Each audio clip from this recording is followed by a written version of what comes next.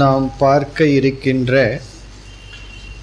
பிரம்மசூத்திரத்தில் உள்ள சதுசூத்ரி என்று அழைக்கப்படும் முதல் நான்கு சூத்திரங்கள். ஒன்பது தலைப்பாக பிரிக்கப்பட்டது என்று பார்த்தோம். நாம் பார்க்க இருக்கின்ற நான்கு சூத்திரங்களில் என்னென்ன கருத்துக்கள் பேசப்படுகின்றதோ அவை ஒன்பது தலைப்பின் கீழ் பிரிக்கப்படுகின்றது. நவ வர்ணகம் என்று அழைக்கப்படுகிறது. அந்த நவ வர்ணகம் என்றால் வர்ணகம் என்ற சொல்லுக்கு சூக்ஷ்மமான அர்த்தங்கள் விளக்கப்படுகிறது என்பது பொருள். அப்படி இங்கு ஒன்பது டாபிக் ஒன்பது வர்ணங்கள் இதில் அமைந்துள்ளது. முதல் வர்ணகம் சங்கரருடைய அத்தியாச பாஷ்யம் என்று பார்த்தோம். முழு பிரம்மசூத்திரத்திற்கு அத்தியாச பாஷ்யம் என்கின்ற ஒரு விளக்கம் உள்ளது முகவுரை உள்ளது. அது முதல் வர்ணகம்.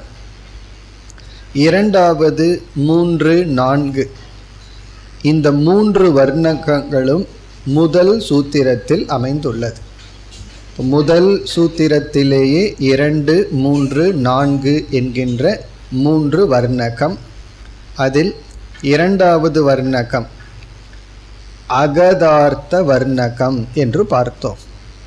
அகதார்த்தம் என்றால் பிரம்மத்தை பற்றிய கருத்தானது இதுவரை வேதத்தில் விசாரிக்கப்படவில்லை. இவர் வந்து வேதத்தினுடைய கடைசி பகுதிக்கு வந்துள்ளார். கர்மகாண்டத்தில் பிரம்ம தத்துவமானது இதுவரை விளக்கப்படவில்லை. ஆகவே பிரம்மனை பற்றிய விஷயம் இன்னும் விளக்கப்படாமலேயே இருக்கின்றது தெரியப்படாமலேயே இருக்கின்றது. ஆகவேதான் பிரம்ம விசாரம் செய்ய வேண்டும் என்பது கருத்து.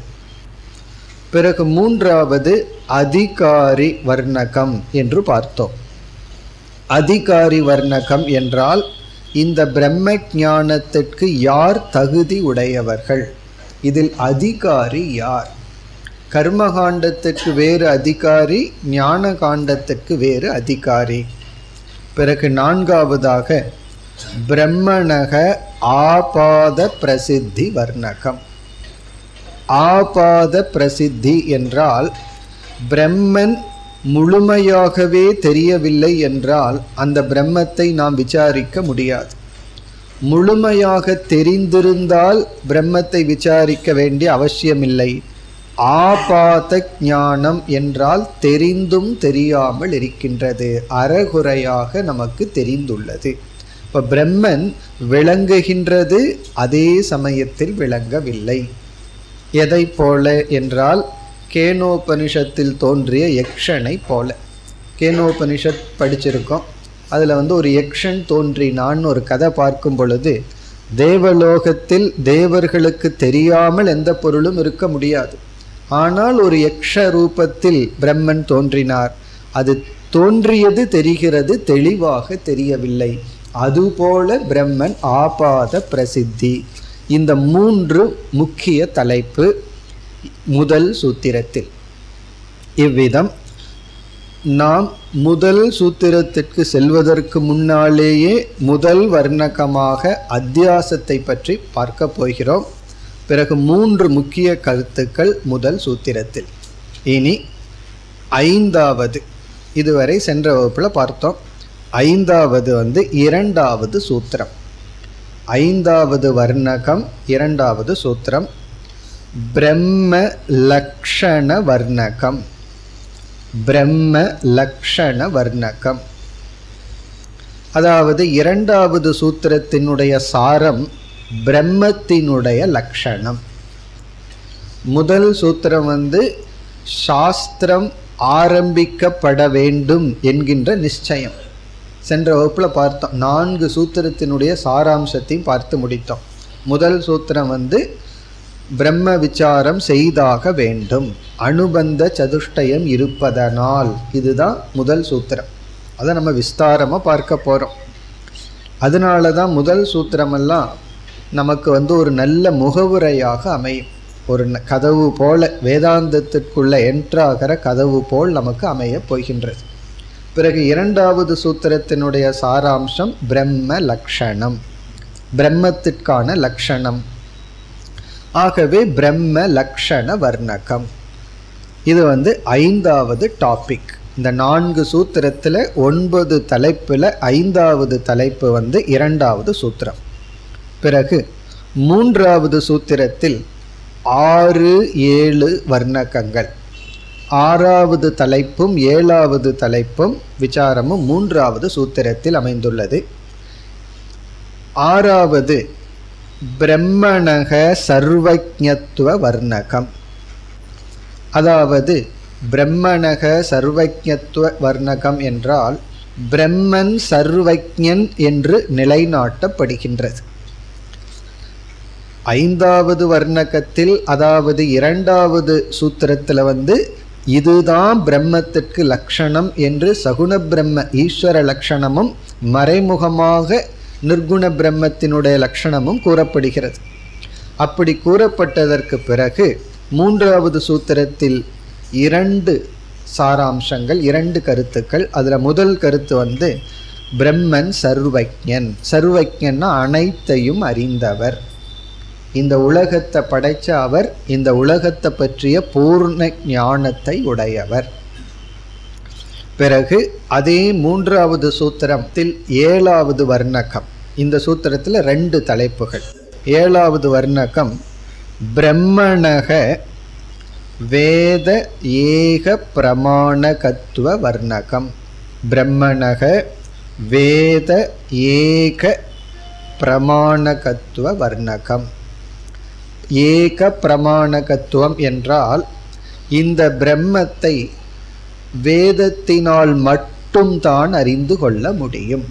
ஔபநிஷதம் அப்படிங்கிற கருத்து. ஔபநிஷதம் புருஷம்னு சொல்வது போல.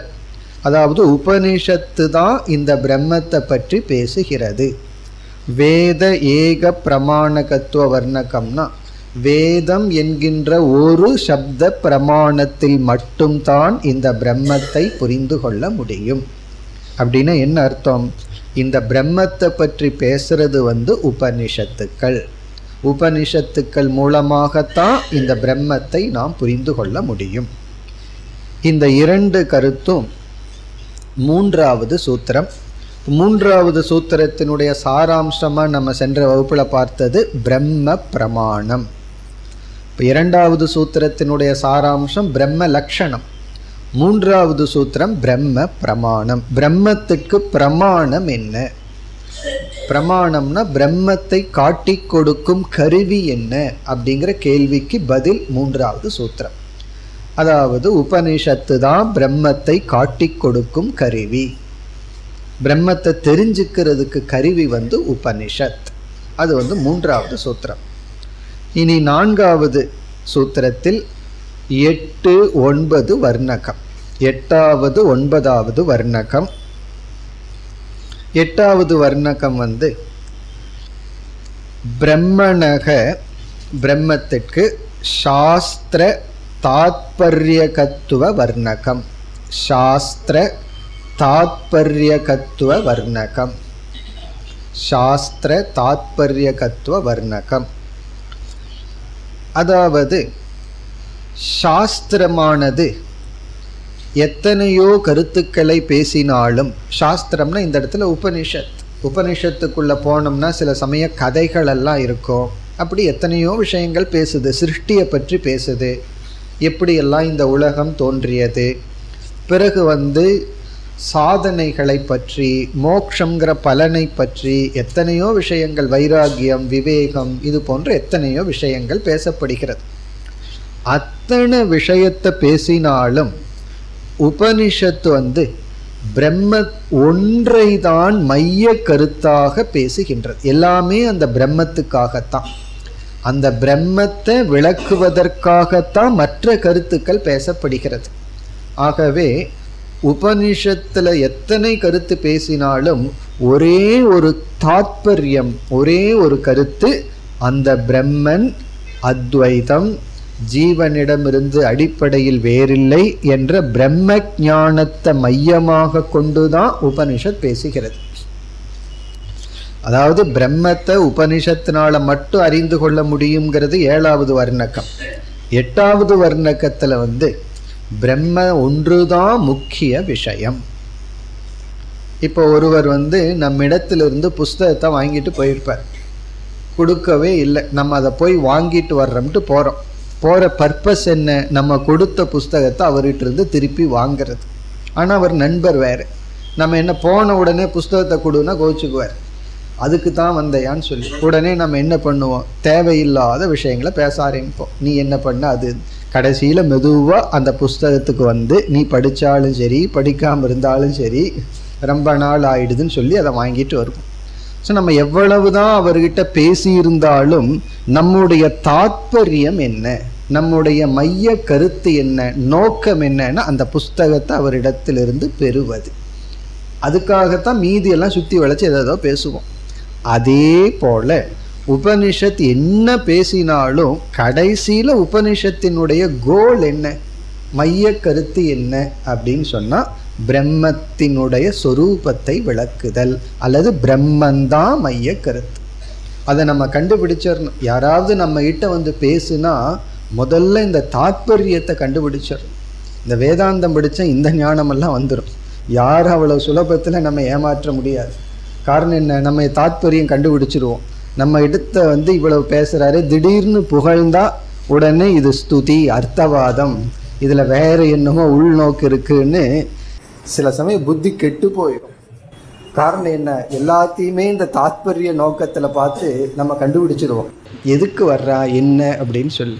அப்படி இந்த சாஸ்திரத்தில் என்ன கருத்து பேசியிருந்தாலும் கடைசியில் மையமாக எதை மனசில் வச்சுட்டு உபனிஷத் பேசுதுன்னா அந்த பிரம்ம ஒன்று தான் இது வந்து எட்டாவது வர்ணகம். ஒன்பதாவது இறுதி வர்ணகம்.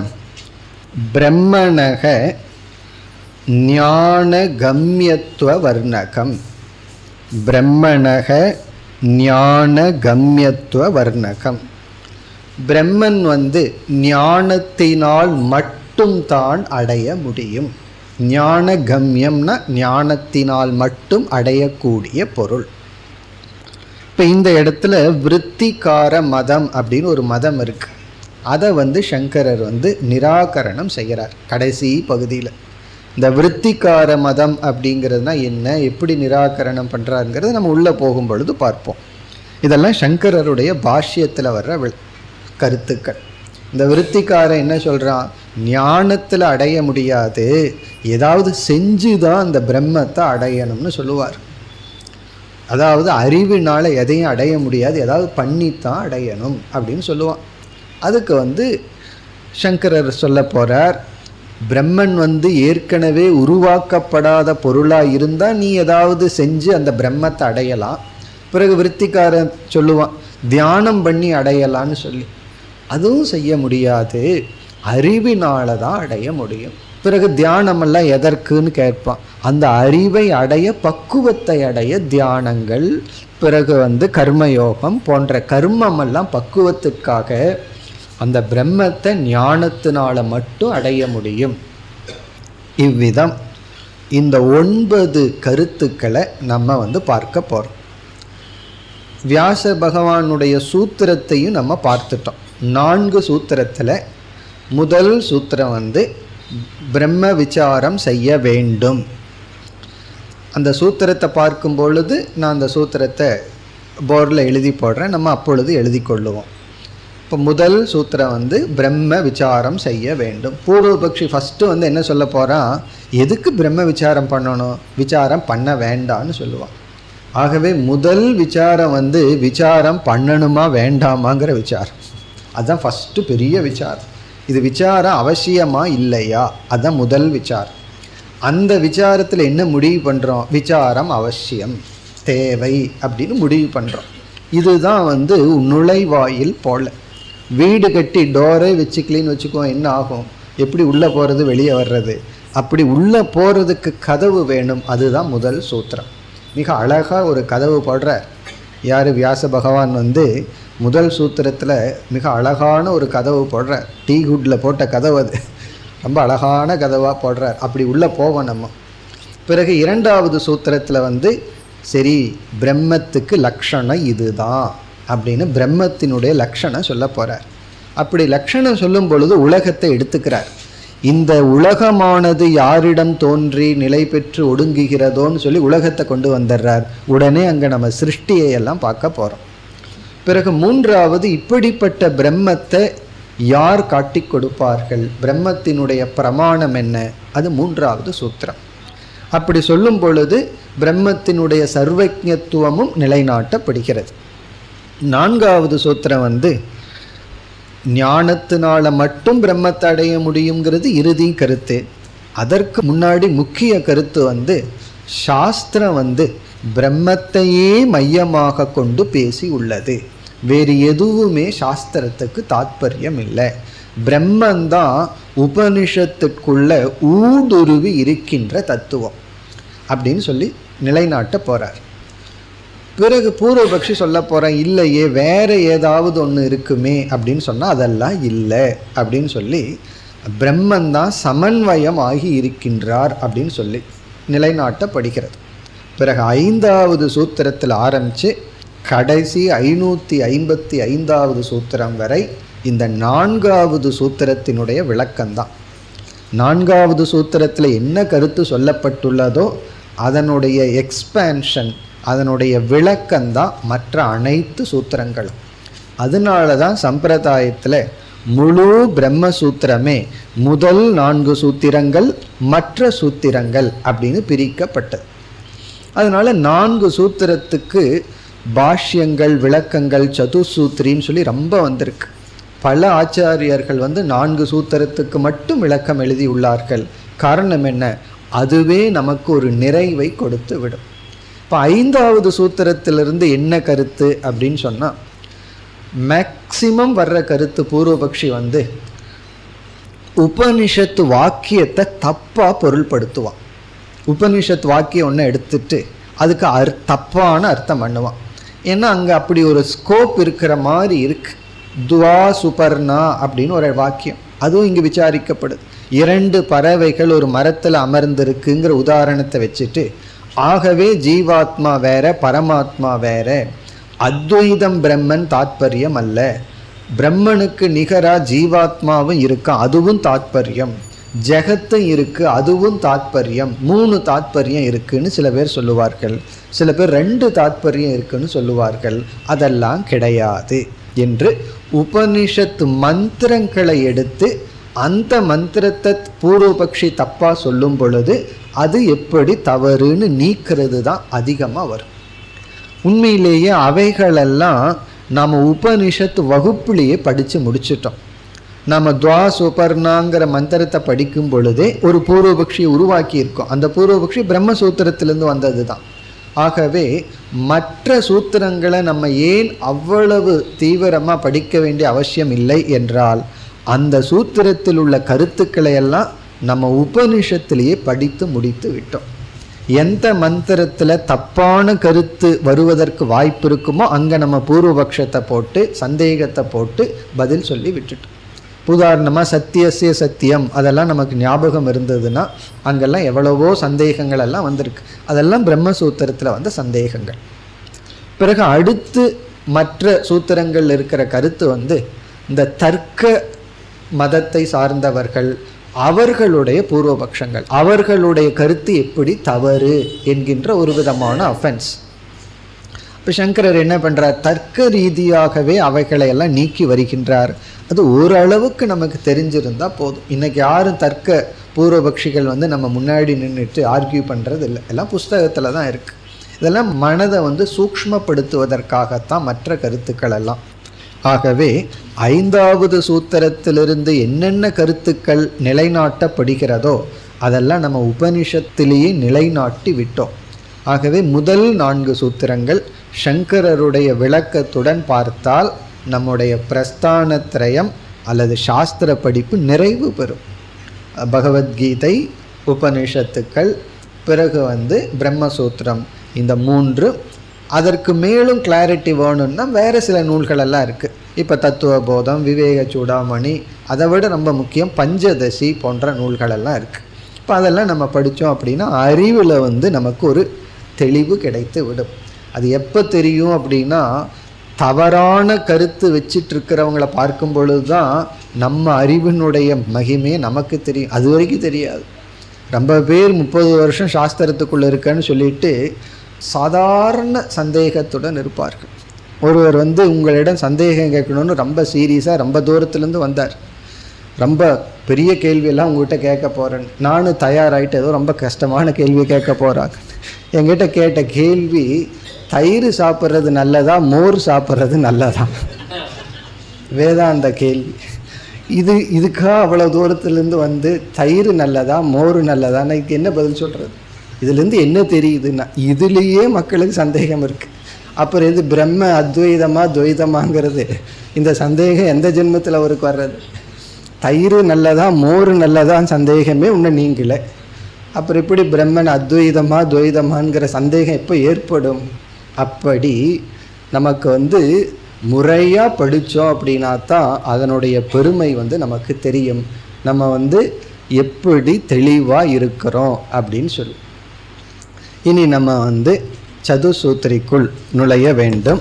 அதில் முதல் வர்ணகம். முதல் வர்ணகம் வந்து அத்தியாச வர்ணகம். இது வந்து சங்கரருடைய அறிமுகம் பிரம்மசூத்திரத்திற்கான அறிமுகம். அத்தியாச பாஷ்யம். பாஷ்யம்னா விளக்கம். அதுக்கெல்லாம் லட்சணம் நம்ம பார்த்தாச்சு. பாஷ்யத்தினுடைய லட்சணம் எல்லாம் பார்த்துருக்கோம். அத்தியாச பாஷ்யம். இப்போ சங்கரருடைய அத்தியாச பாஷ்யம் அத்தியாசம் என்கின்ற தலைப்பில் எழுதப்பட்ட முகவுரையில் ஆறு கருத்துக்கள் கூறி இருக்கின்றார். ஆறு டாபிக் அதில் இருக்குது சங்கரர் எழுதிய அத்தியாச பாஷ்யம் அத்தியாசம் என்ற தலைப்பில் உடைய முகவுரையில் ஆறு தலைப்புகள் இருக்குது அதை நம்ம வரிசையாக பார்க்க போகிறோம் அப்படி பார்ப்பதற்கு முன்னாடி நம்ம ஒரு முகவுரையாக அத்தியாசத்தை பற்றிய சில அடிப்படை கருத்துக்களை பார்த்துருவோம். ஆகவே இப்போ நம்ம பார்க்க போகிறது முகவுரைக்கு முகவுரை. சங்கரரே முகவரை கொடுத்துருக்கார். அத்தியாச பாஷ்யம்னு சொல்லி அத்தியாசத்தை பற்றி பேசியிருக்கார். இருந்தாலும் அதற்கு ஒரு முகவரை தேவைப்படுது. சென்ற வகுப்பில் பார்த்தோமே பாஷ்யம் இருக்கும் அதற்கு ஒரு விளக்கம் இருக்கும் அதை டீக்கான்னு சொல்லுவார்கள். அதற்கு ஒரு விளக்கம் இருக்கும் டிப்பணின்னு சொல்லுவார்கள். அதுக்கு போதாதுன்னு சொல்லி குரு இதையெல்லாம் விளக்கணும். இப்படி போயிட்டுருக்கிறது போல சங்கரர் வந்து அத்தியாச பாஷ்யம்னு ஒரு பாஷ்யம் எழுதியிருக்கார். அதில் அந்த அத்தியாசத்தை பற்றி ரொம்ப சூக்ஷ்மமான விஷயங்கள் எல்லாம் நம்ம பார்க்க போகிறோம் எத்தனை முறை நம்ம வந்து பாம்பு கயிறுன்னு சொல்லியிருந்தாலும் இப்போ வந்து பிஹெச்டி போல் உள்ளே டீப்பாக போக போகிறோம் பாம்பு கயிறுக்குள்ளே ரொம்ப டீப்பாக போக போகிறோம் அப்படி போகிறதுக்கு முன்னாடி இந்த அத்தியாசத்தை பற்றி சில அடிப்படை கருத்துக்களை மனதில் பதிய வைத்தா தான் சங்கரருடைய அத்தியாச பாஷ்யம் நமக்கு புரிய போகுது. கொஞ்சம் இந்த இடத்துல நம்ம என்ன செய்யணும்? நல்லா ஆழ்ந்து சிந்திக்க வேண்டிய இடம் இந்த இடம். இந்த அத்தியாசம் தான் ரொம்ப அடித்தளம். இதை நம்ம புரிஞ்சிட்டோம்னா வேதாந்தம் வந்து குறிப்பாக அத்வைதம் வந்து நமக்கு நன்கு புரிந்து விட்டதுன்னு அர்த்தம். ஆகவே நம்ம என்ன செய்யணும்? ரெண்டு மூணு வகுப்பு வந்து இது வந்து ஒரு ரிசர்ச் கிளாஸ் மாதிரி இருக்க போகுது. ரொம்ப கவனமாக கேட்கணும். ஒரு வரி எங்காவது திடீர்னு வீட்டை நினச்சிட்டோம். அவ்வளோதான் கிளாஸ் எல்லாம் அத்தியாசம் ஆயிரும் ஒன்றும் புரியாமல் போயிடும் அதனால் கவனமாக நம்ம ஸ்டெப் பை ஸ்டெப்பாக புரிஞ்சிட்டு இது புரிஞ்சிடுது அப்படின்னா அத்வைதத்தை நமக்குள்ள இருக்கிற அத்வைதத்தை யாராலும் அசைக்க முடியாது. பெரிய பெரிய சிந்தனையாளர்களே பெரிய தவறு செய்ததற்கு காரணம் இந்த அத்தியாசத்தை புரிந்து கொள்ளாத காரணம்தான். அதையும் நம்ம பார்க்க போகிறோம் ஏன் சங்கரர் அத்தியாச பாஷ்யத்தை முகவரையாக வச்சார்? அது பிரம்மசூத்திரத்துக்கு அத்தியாசத்தை ஏன் அறிமுகப்படுத்தினார்? அதையும் பார்க்க போகிறோம் அதற்கு முன்னாடி இப்போ வந்து நம்ம முகவுரை அத்தியாசத்தை பற்றி சில கருத்துக்கள். இப்போ முதல் கருத்து அத்தியாசம் அப்படிங்கிற சொல்லுக்கு என்ன பொருள்? அத்தியாசம் அப்படிங்கிற சொல்லுக்கு வந்து என்ன டிரான்ஸ்லேஷன் கொடுக்கலாம்? சூப்பர் இம்போசிஷன் சொல்லி இங்கிலீஷில் சொல்லுவார்கள். பாரதியார் வந்து ஒரு பாடலில் காட்சி பிழை அப்படின்னு சொல்லியிருக்கார். ரொம்ப அழகானது. அழகான சொல் காட்சி பிழை. காட்சி பிழைனா நம்ம வந்து பார்க்குற பார்வையில் ஏற்பட்ட ஒரு தப்பு. வேறு சொன்னால் எரர்னு சொல்லலாம் மிஸ்டேக்குன்னு சொல்லலாம் தவறுன்னு சொல்லலாம். அத்தியாசக காட்சி பிழை ரொம்ப அழகான சொல். எப்படின்னா இப்போ நம்ம வந்து அதே பாம்பு கயிறையே வச்சுக்குவோம். வேற உதாரணம் மாற்றி குழப்பிக்க வேண்டாம். பாம்பு கயிறை வச்சே இப்போ நம்ம விசாரத்திற்குள்ளே போகலாம் இப்போ கயிறை நம்ம பார்க்குறோம். கயிறை பார்க்கும் பொழுது கயிறுங்கிற காட்சி இருந்தால் அது சரியான காட்சி ஞானம். அந்த கயிற்றை பார்த்துட்டு பாம்பு அப்படின்னு பார்த்துட்டோம் அப்படின்னா இது காட்சியில் ஏற்பட்ட பிழை. பிழைனா தவறு. நம்ம பார்க்கிற பார்வையில் ஏற்பட்ட ஒரு தவறு. அதைத்தான் அத்தியாசம் அப்படின்னு சொல்கிறோம் அத்தியாசம் அப்படின்னா ஒன்று இருக்கிற இடத்துல நம்ம அதை தவிர வேற ஒன்றை பார்த்தல். நம்மளாம் பார்க்க போகிறோம் அத்தியாசத்துக்கு டெஃபனிஷன் பார்க்க போகிறோம் பல லட்சணங்கள் பார்க்க போகிறோம் அதெல்லாம் நம்ம டீப்பாக சங்கரர் கொடுக்குற லட்சணமெல்லாம் பார்க்க போகிறோம் இப்போ இங்கே வந்து முதல்ல புரிஞ்சுக்கிறது அத்தியாசம் என்பது ஒரு இடத்தில் அதை பார்க்கறதுக்கு பதிலாக அதற்கு பதிலாக வேற ஒன்றை பார்க்குறோம். இப்போ கயிற்றில் கயிற்றை பார்க்கறதுக்கு பதிலாக நம்ம வந்து பாம்பை பார்க்குறோம். அதுதான் அத்தியாசம். காட்சியில் ஏற்படுகின்ற பிழை. இப்போ இந்த அத்தியாசம் எப்பொழுது நடைபெறும்?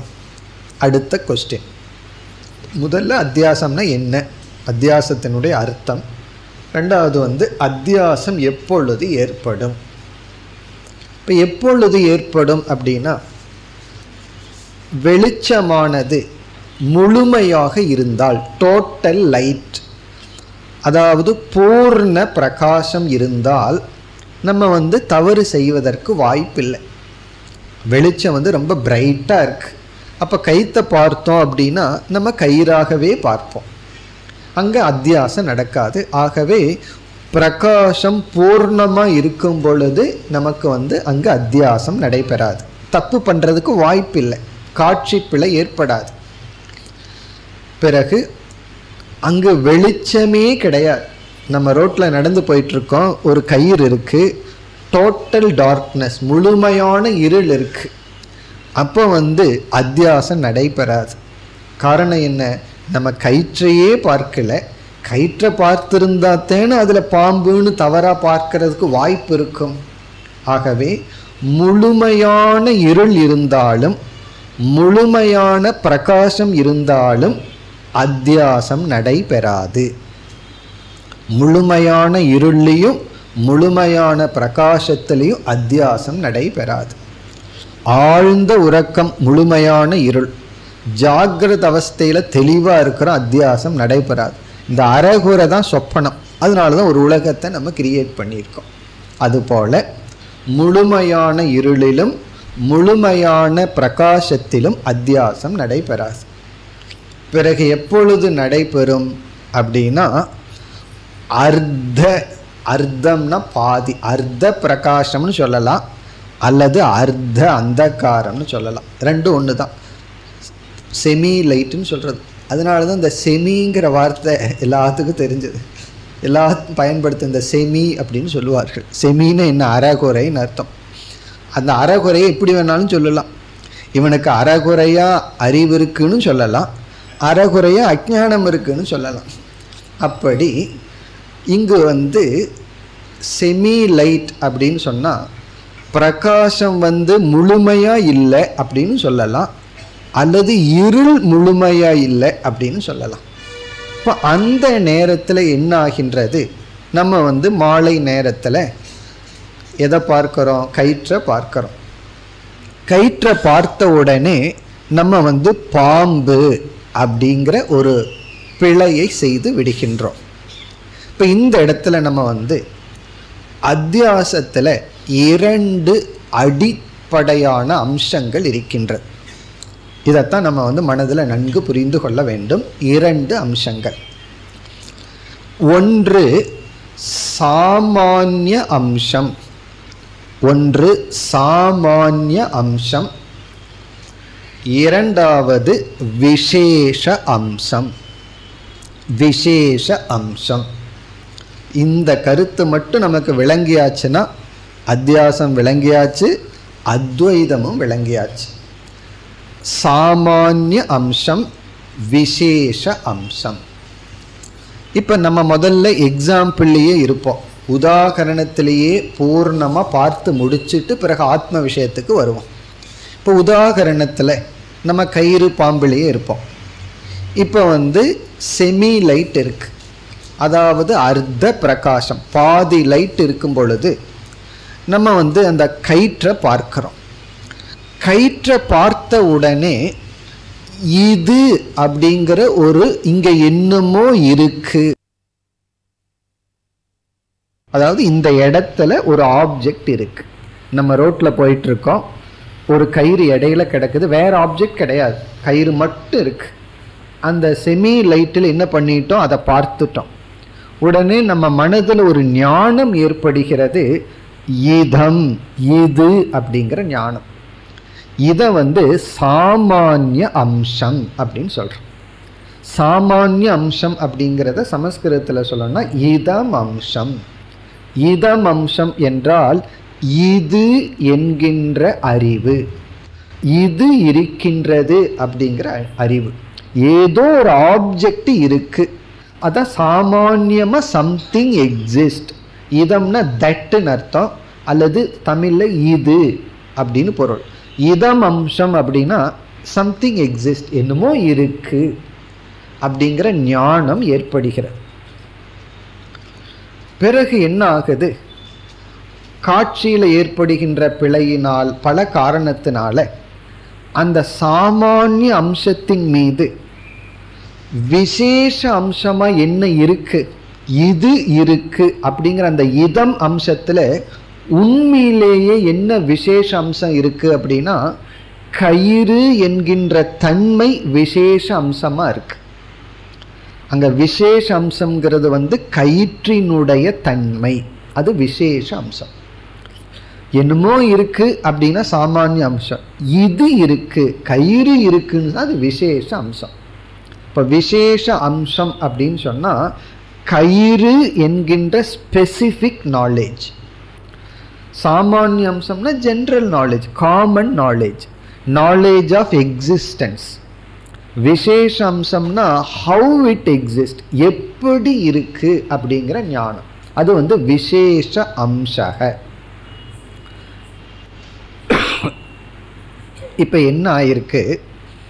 தவறுதலினால் சாமானிய அம்சத்தின் மீது விசேஷ அம்சமான கயிறுங்கிற தன்மையை பார்ப்பதற்கு பதிலாக பாம்பு என்ற விசேஷ அம்சத்தை பார்த்து விடுகின்றோம்.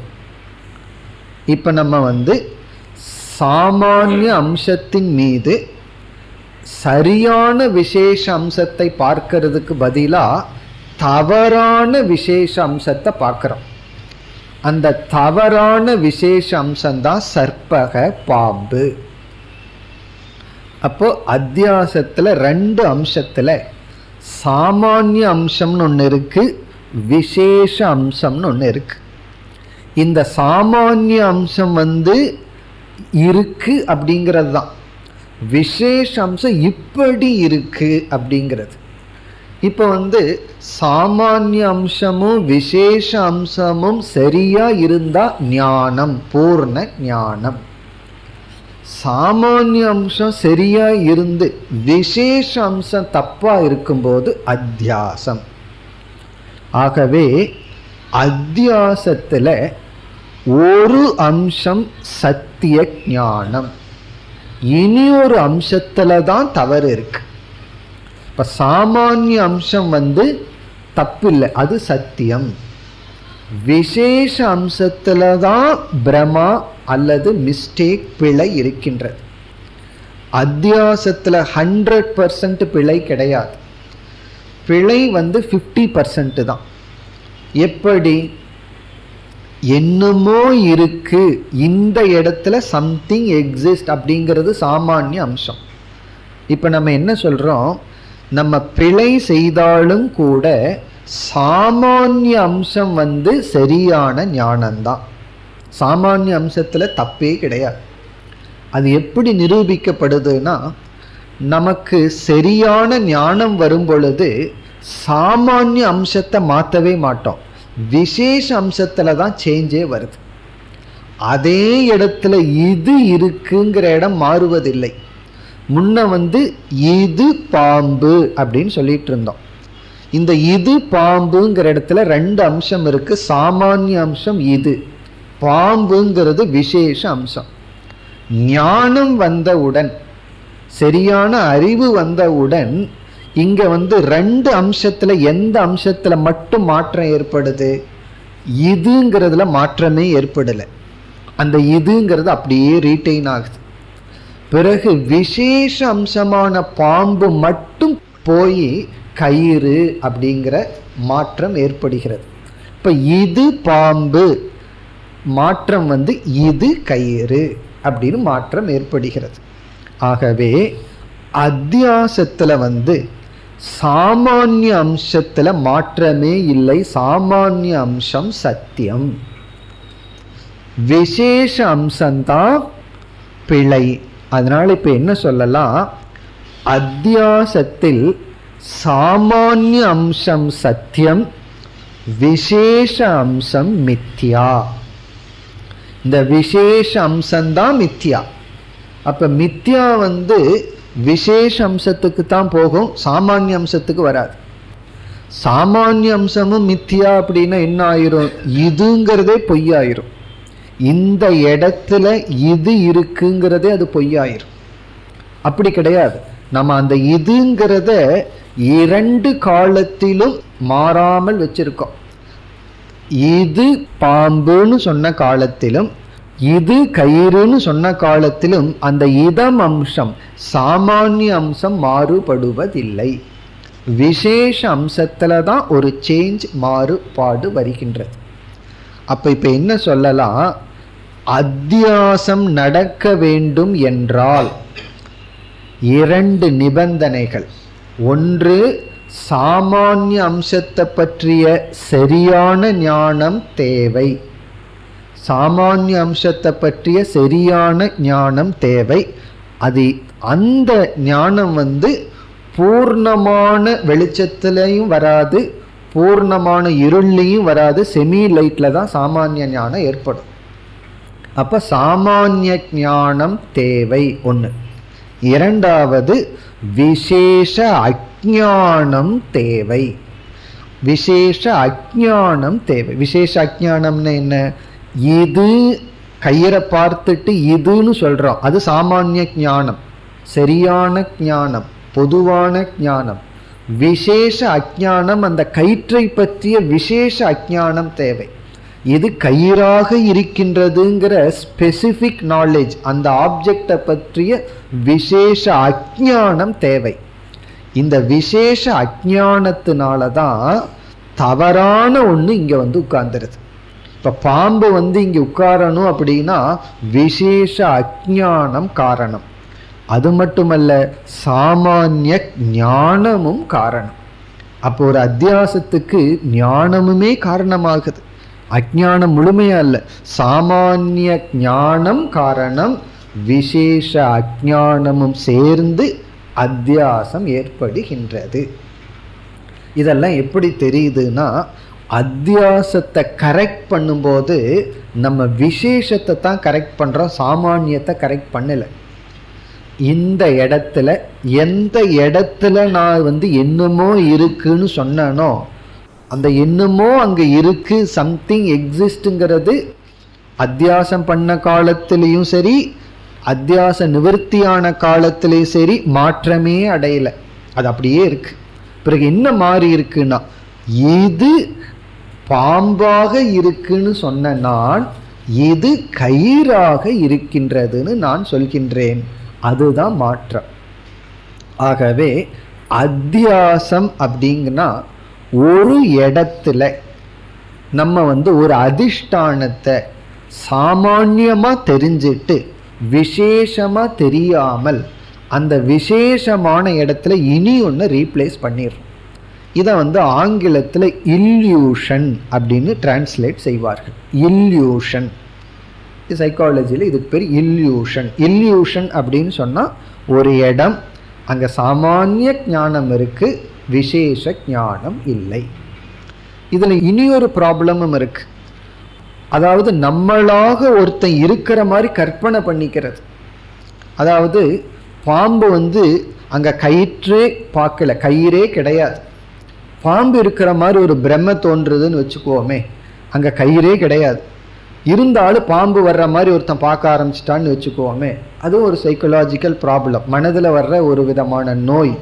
அதை வந்து ஹேலூசினேஷன் அப்படின்னு சைக்காலஜியில் சொல்லுவார்கள். ஹேலூசினேஷன் சொன்னால் அந்த தப்பு பண்ணுறதுக்கு வாய்ப்பே இல்லை. மனதில் இருக்கின்ற சில கோளாறுனால பாம்பு வர்ற மாதிரி ஒரு ஃபீலிங் பேய் வர்ற மாதிரி பிசாசு வர்ற மாதிரி யாரோ நடந்து வர்ற மாதிரி. வேற ஏதாவது ஒரு ஷேடோ போகுது அதை பார்த்து பேயின்னு நினச்சா அது அத்தியாசம். ஒன்றுமே இல்லை இவனாக கற்பனை பண்ணிட்டா அதுக்கு பேர் ஹேலூசினேஷன் நம்ம அதை பற்றி இங்கு பேசவில்லை. நம்ம வந்து இல்யூஷனை பற்றி இங்கே விசாரம் பண்ணுறோம் அத்தியாசத்தை பற்றி பேசுகிறோம் ஏன்னா இந்த இடத்துல அந்த ஞானமும் அவசியம் இல்லைன்னா திடீர்னு ஒரு சந்தேகம் வந்து சில பேர் வந்து கயிறே இல்லாமல் பாம்பை பார்க்குறாங்களே அந்த கேஸை என்ன பண்ணுறதுன்னு கேட்டான். கயிறை பார்த்து பாம்புன்னு சொன்னால் இவ்வளோ விசாரத்துக்கு அர்த்தம் இருக்குது கயிறே இல்லை பாம்பு வருதுன்னு சொல்லிட்டு இருக்கிற கேஸை என்ன பண்ணுறதுன்னா அது வேதாந்தத்துக்கு அனுப்புகிற கேஸ் இல்லை அது வேற இடத்துல அனுப்புகிற கேஸ் அது டாக்டர்கிட்ட அனுப்பணும் அந்த கேஸை எல்லாம். அப்போ நம்ம வேதாந்தத்துக்கு வர்ற கேஸு யார் அப்படின்னா இல்யூஷன் பார்ட்டி தான் நம்ம இங்கே அட்மிஷன் கொடுப்போம். ஹாலூசினேஷன் பார்ட்டி இது நம்ம டிபார்ட்மெண்ட் இல்லைன்னு அனுப்பிச்சி விட்டுருவோம். காரணம் என்ன? அது இல்லாத இடத்துல இவர் பாட்டு கற்பனை பண்ணிட்டு இருந்தா. அப்படி சில பேர் இருப்போம் யாரோ வர்ற மாதிரி இருக்கும். இது வந்து ஒரு விதமான நோய் மனோ நோய். யாரோ வந்து பேசிட்டு இருக்கிற மாதிரி இருக்கும் அவர்களுக்கு. அது காரணம் என்னென்னா அங்கே யாராவது வே ஒருத்தரை இனி ஒருத்தராக நினச்சிட்டா தப்பில்லை. பட் இவர்கள் வந்து யாருமே இருக்க மாட்டாங்க. இது டோட்டல் மென்டல் ப்ரொஜெக்ஷன் அதை நம்ம இங்கே பேசவில்லை. அப்படி ஒரு ப்ராப்ளம் இருக்குது ஆனால் அது இங்கே அத்தியாசமாக பேசப்படவில்லை. அப்போ இங்கே அத்தியாசத்தில் சாமானிய அம்சம் விசேஷ அம்சம்னு ரெண்டு அம்சம் இருக்குது இந்த சாமானிய அம்சத்தின் மீது விசேஷமாக தவறு தவறான வேறு ஒன்றை ஏற்றி வைத்து விடுகின்றோம். ஞானம் வந்த உடனே சாமானிய அம்சம் நீங்குவதில்லை விசேஷ அம்சம் மட்டும் நீக்கப்படுகின்றது. ஆகவே அத்தியாசம் ஏற்பட வேண்டும் என்றால் ஒரு பொருளினுடைய சாமானிய ஞானமும் அந்த பொருளினுடைய விசேஷ அம்ச அஜானமும் தேவை. அப்போ சாமான்யமாக கிரகிக்கணும் விசேஷமாக கிரகிக்க கூடாது கயிற்றை வந்து சாமானியமாக கிரகிக்கணும். விசேஷமாக கிரகிச்சிடக்கூடாது. அதாவது ஏதோ இருக்குன்னு கிரகிக்கணும். தெளிவாக எப்படி இருக்குன்னு கிரகிக்க கூடாது அப்பொழுதுதான் பாம்பு வந்து அதில் உட்காரும். அப்பொழுதுதான் பாம்பு அதில் தோன்றும். பிறகு வந்து யாரோ ஒரு வந்து உபதேசம் பண்ணுறார் லைட் அடித்து காட்டுறார். காட்டி உபதேசம் பண்ண உடனே என்ன நீங்குகின்றது? சாமானிய ஞானம் ஏற்கனவே அடைஞ்சது அப்படியே இருக்கு. விசேஷம் மட்டும் மாறுகின்றது. விசேஷாம்சம் மட்டும் மாற்றம் அடைகின்றது. இது உதாகரணம். இதிலிருந்து நம்ம வந்து இனி முக்கிய கருத்துக்கு வருவோம். ஆத்ம அனாத்ம அத்தியாசத்திற்கு இப்பொழுது வருகின்றோம். நம்மளுடைய சித்தாந்தத்திற்கு வர்றோம். இப்போ வந்து நான் நான் அப்படின்னு சொல்லும் பொழுது நான்கிற சொல் எல்லாத்துக்கும் தெரிஞ்ச சொல் ஒரு மனிதன் ஒரு நாளைக்கு அதிகமாக பயன்படுத்துகிற சொல் நான் தான். இந்த டெலிஃபோன் டிபார்ட்மெண்ட்டில் ஒரு ரிசர்ச் பண்ணாங்க. அது வந்து இந்த யூஎஸில் தான் இந்த மாதிரி எல்லாம் வேலை பண்ணிகிட்டு இருப்பான். வேலை வேலை இதுக்காக தான் ஏதாவது ரிசர்ச் பண்ணிகிட்டு இருப்பான். ஒரு நாளைக்கு வந்து எத்தனை நான்? ஒருத்தன் சொல்கிறான் அதாவது முந்நூற்றம்பதோ நானூற்றம்பது நான்?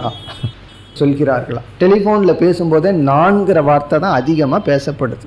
அப்படின்னா இந்த உலகத்தில் ஒரு மனிதன் எல்லா மனிதர்களும் அதிகமாக பயன்படுத்துகிற சொல் அகம் நான். நீயே அவன் அது அதெல்லாம் பிறகுதான். நான்கிற சொல்லத்தான் அதிகமாக பயன்படுத்துகிறோம் எந்த ஒரு சொல்லை நம்ம பயன்படுத்தினாலும் அதற்கு ஒரு அர்த்த ஞானத்தோட தானே பயன்படுத்துவோம். எந்த ஒரு சொல்லை நம்ம பயன்படுத்தும் பொழுதும் அதற்குன்னு ஒரு அர்த்த ஞானம் மனசில் இருந்து தான் நம்ம பயன்படுத்துவோம். சில பேர் வந்து கடவுள் இல்லைன்னு சொல்கிற ஆள்கள் கடவுள் இல்லைன்னு சொல்லும்போது கடவுளுக்கு அவங்களாக மனசில் ஒரு அர்த்தம் பண்ணிட்டு தான் இல்லைன்னு சொல்ல முடியும். அல்லது ஏதாவது ஒரு அர்த்தமில்லாத சொல்ல பயன்படுத்தினாலும் இந்த சொல்லுக்கு அர்த்தமில்லைங்கிற அர்த்தத்தை மனசில் வச்சுட்டு தான் பயன்படுத்த முடியும். ஆகவே நான்கிற சொல்ல நம்ம பயன்படுத்துகின்றோம் அதிகமாக பயன்படுத்துகிறோம்னா அதுக்கு ஒரு அர்த்தம் இருக்கும். நமக்குள்ள ஒரு அர்த்தத்தை வச்சுருப்போம். அது என்ன அர்த்தம்? இந்த இடத்துல என்ன அர்த்தம் அப்படிங்கிற கேள்வி வரும்பொழுது எல்லாருக்கும் தெரிஞ்ச ஒரு அர்த்தம் வந்து நான் இருக்கிறனா இல்லையா அப்படின்னு கேட்டால் யாருக்காவது ஒரு சந்தேகம் வருமா? நீ இருக்கிறையா இல்லையா? நீ சத்தா அசத்தா அப்படின்னு கேட்டால் பக்கத்தில் கேட்டு சொல்கிறேன்னு சொல்லுவோமோ? கண்டிப்பாக சொல்ல மாட்டோம். நான் இருக்கிறனா இல்லையா அப்படின்னா இருக்கின்றேன் அப்படிங்கிறது வந்து நமக்கு நல்லா தெரியுது. அகங்கிற சொல்லில் நான் இருக்கின்றேங்கிறது விளங்குகின்றது. அடுத்த கேள்வி நீ உணர்வுடன் இருக்கின்றாயா இல்லையா? உனக்கு வந்து கான்சியஸ்னஸ் இருக்கா இல்லையான்னு கேட்டால் ஒருவர் வந்து நான் ஜடம் அப்படின்னு சொல்கிறாருன்னு வச்சுக்கோமே. அப்படி சொல்லணும்னாலும் கூட அவர் உணர்வு ரூபமாக இருந்தால் தானே சொல்ல முடியும். பானை வந்து திடீர்னு நான் ஜடமாக இருக்கிறேன்னு சொல்லுச்சுன்னு வச்சுக்குவோமே உடனே நம்ம முடிவு பண்ணிடலாம் அது ஜடம் இல்லை. ஜடமாக இருந்தால் அது அப்படி சொல்லாது. ஆகவே நான்கிற சொல்லில் நமக்கு சாமான்யமா தெரிகிறது ரெண்டு அம்சம். ஒன்று சத் இனி ஒன்று சித். அகம் அஸ்மி அகம் பாமி. பாமினா ஐ எம் ஷைனிங் நான் இருக்கின்றேன் அப்படிங்கிறது நான்கிற சொல்லில் இருக்கிற சாமானிய ஞானம். நான்கிற சொல்லில் இருக்கிற இனி ஒரு சாமானிய ஞானம் நான் உணர்வுடன் இருக்கின்றேன். நான் அறிவுடன் இருக்கின்றேன். ஐ எக்ஸிஸ்ட் ஐ ஆம் கான்சியஸ் பிரின்சிபல் இந்த ரெண்டு சாமானிய ஞானம். எதில்? அகம் அகம்னு சொல்லும்போது. நான் நான்கிற சொல்லல சாமானிய ஞானம் இந்த இரண்டும். சத் அண்டு சித். நான் இருக்கின்றேன் நான் உணர்வு ரூபமாக இருக்கின்றேன். இது வந்து சாமானிய ஞானம். பிறகு சாஸ்திரம் என்ன சொல்லுது? இந்த நான்கிற சொல்லில் நீ வந்து சொல்லுக்குரிய பொருளாக சாமானிய ஞானத்துடன் நீ இருக்கின்றாய். சந்தேகமே இல்லை. இது இருக்குன்னு கயிற்றை பார்த்து சொல்றது போல நான் சொல்லும்போது அதற்குள்ள உனக்கு சாமானிய ஞானம் இருக்கு. அந்த சாமானிய ஞானத்தில் தப்பே கிடையாது. நான் இருக்கின்றேன் நான் விளங்கி கொண்டிருக்கின்றேன் அறிவுபூர்வமாக இருக்கிறேன் இதில் தவறு இல்லை. பிறகு சாஸ்திரம் என்ன சொல்லுது? உன்னுடைய விசேஷ ஞானம் இருக்கே அங்க அத்தியாசம் ஏற்பட்டுள்ளது. கயிற்றை பார்த்து இதுன்னு சொல்றதுல தப்பில்லை. இது பாம்புன்னு சொல்ற இடத்துல நீ தப்பு பண்ணிட்ட. அதே போல நான் அப்படிங்கிற சொல்லுல சாமானிய அம்சமா இருக்கிறது சத் அண்டு சித். அதுல தப்பில்லை. விசேஷ அம்சமாக நீ வந்து என்ன நினச்சிட்டு இருக்கிறாயோ அங்கே உன்னிடத்தில் அத்தியாசம் ஏற்பட்டுள்ளது அப்படின்னு சாஸ்திரம் நமக்கு சொல்லுது. விசேஷ அம்சம் என்ன? நான் இருக்கின்றேன் நான் விளங்கி கொண்டிருக்கின்றேன்னு சொல்லி அதற்கு அடுத்தது நம்ம என்னென்னலாம் சொல்கிறோமோ அதெல்லாம் அத்தியாசம்னு சொல்லுது. அடுத்தது என்ன சொல்கிறோம் நான் கொஞ்ச காலம்தான் இருப்பேன். நான் செத்து போயிடுவேன் அதற்கு பிறகு எனக்கு சில சமயம் அறிவு இருக்குது சில சமயம் அறிவு இருக்கிறதில்ல. பிறகு வந்து நான் ஒரு அல்பக. சுருக்கமாக சொன்னால் நான் அல்பன். அழகான வார்த்தை அல்பன்கிற வார்த்தை. நீ எப்படி இருக்கன்னு கேட்டால் தான் ப்ராப்ளம் யாருமே நீ இருக்கிறியான்னு கேட்க மாட்டார்கள். நீ அறிவுடன் இருக்கிறியா அறிவுடன் உணர்வுடன் இருக்கிறியான்னு கேட்க மாட்டார்கள். இந்த சாமானிய அம்சத்தை யாருமே கொஸ்டின் பண்ண மாட்டாங்க. பிறகு நடைமுறையிலேயே ஹவ் ஆர் யூன்னு தான் கேட்பார்கள். நீ எப்படி இருக்கின்றாய்? கேள்வி நம்மளுடைய விசேஷ அம்சத்தை பற்றி தான். நம்மளுடைய விசேஷ அம்சத்தை பற்றி கேள்வி கேட்கும் பொழுது தான் ஆத்ம புராணம் ஆரம்பிக்குது. நம்மைய பற்றி பேச ஆரம்பிச்சிடும் எனக்கு இது சரியில்லை அது சரியில்லை நான் அல்பன் நான் மர்த்தியக நான் மரணத்திற்குட்பட்டவன் இப்படியெல்லாம் நம்மைய பற்றிய விசேஷ ஞானம் நமக்கு இருக்கு. நான் இருக்கின்றேன் நான் அறிவுபூர்வமாக இருக்கிற உணர்வு ரூபமானவன் அது சாமானிய அம்சம் அகங்கிற விஷயத்தில். அதில் தப்பில்லைன்னு சாஸ்திரம் சொல்லுது அது சத்திய அம்சம். பிறகு விசேஷ அம்சமாக நம்மை பற்றி சொல்லும் பொழுது நான் வந்து அல்பன் நான் சம்சாரி. சில பேர் வந்து நான் சம்சாரின்னு சிரிச்சுட்டே சொல்லுவார்கள்.